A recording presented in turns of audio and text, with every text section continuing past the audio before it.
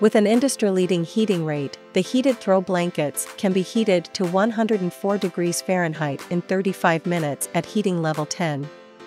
Achieve heating level 10 directly, and enjoy the warmth even faster. Do not cover the controller or place it under the blanket. Using our heating blanket while turning off your thermostat can save 68 to 90% a year on your heating bill, and watch your savings climb. This is the best way to save money in winter. Enjoy a rapidly heated blanket with an ergonomic LED controller featuring 10 timer settings and 10 heating levels based on your needs. For optimal user experience, please preheat the heated blanket in advance. Our heating blanket complies with UL 964 standards and uses PTC/NTC heating wire, providing a protection mechanism while keeping warm.